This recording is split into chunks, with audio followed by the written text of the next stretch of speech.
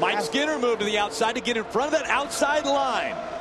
And now Todd Bodine. the 30 of Todd Bodine moves up there as well, Adam.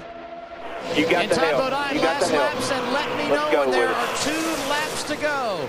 That's obviously not the case right now. Still four remaining, but Bodine trying to make his move to the outside, and we have trouble on the back straightaway. Problems for the 14 and the 5. Now they all bottle up behind them. The 16's into the wall. Hornaday, today, your championship leader, is into the wall. A lot of damage on the back stretch. Oh, and Max Papis Papis. gets into the 5 of Mike Skinner as they're slowing down the back stretch. Wow. Johnny Sauter was trying to get back in line in the middle. there was looked- some contact made. What happened Are off turn two your was own? Bodine got a bump draft off of turn two that shot him wide off the turn. And then when he tried to get everything, that, that bunched them all up. And then everybody started scrambling for positions after that. A lot of damage to that Geico Toyota, as well as the Copart Chevrolet of our point leader, Ron Hornaday. Guys, I would expect they're, they're going to have to red flag this because of we're so close to the end of this race, and there's a lot of debris that's going to have to be cleaned up. They want to finish under a green flag condition. Yeah, Eric Almirola is hoping they red flag it because he's got some gas uh, he's, Issues. fuel issues he's concerned with.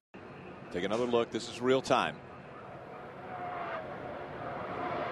That that's just I mean it's really difficult to assess exactly who to blame that on. I mean, Skinner was trying to pull over a little bit. Johnny was in there a little bit. They got together and it caused a big crash. Well, it was just rolling. I didn't see anything, uh, Adam. Uh, I was in line on the bottom as far down as the yellow line that I could go. I finally found out what the big one is in, in Talladega and, and not cause it. So uh, it was must have happened beside me or something. And uh, I seen him get squirrely, but I was as low as I could go, and there wasn't much to it. The Durastar International Trucking Engine, Ford F-150, the five, five got into the right rear corner there, turned me to the right. So. Uh, that's the way it goes, but there was some good hard racing out there. I know the fans was entertained today on speed, and uh, I'm just glad to be part of it. Remember, they're right tucked down. Watch in- the 30 go to the right. Yeah.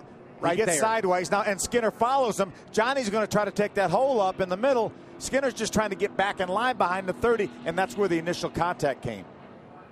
And around they go. Numerous trucks involved in this one. You can see eight of them right there. And Max Papis in the five. You see him.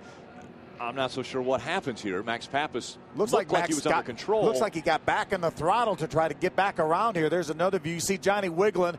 Then he hits the five truck. That turns the five into the 14 of Rick Crawford. A couple guys do a nice job. Watch that white truck right behind Johnny Sauter, Stacy Compton, and the 25 of Terry Cook, who do a great job getting through this accident without any contact.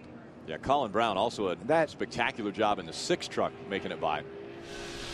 You can There's see the that's, bump. that started it right there. And then it doesn't happen until seconds later.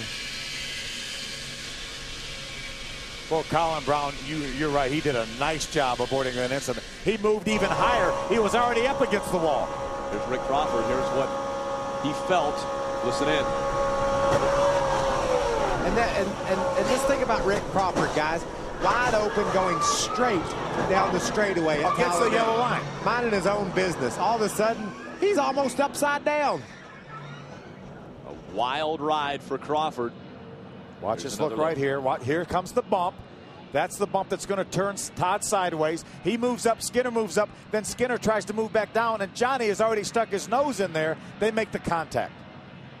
And watch Max. He's spinning at the beginning of the wreck, and it looked like he's going to get lucky and get through it.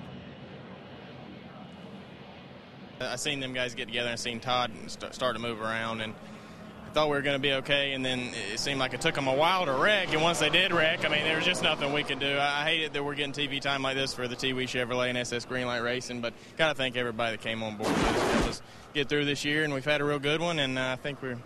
I think we're in position to get at least top 10 there. We, we had put ourselves, I felt like we needed to be in whatever line the six truck was in, and uh, we got together with the six over there. Got to apologize to him for that. I seen nothing. Next thing I know, I was beside him. So um, it was, uh, sun gets really bad over there that time of day. And I, like I said, just hate it for all the folks at TWE and ASI Limited and Spectrum Max Nebo. We've, uh, I was hoping we'd get a good one.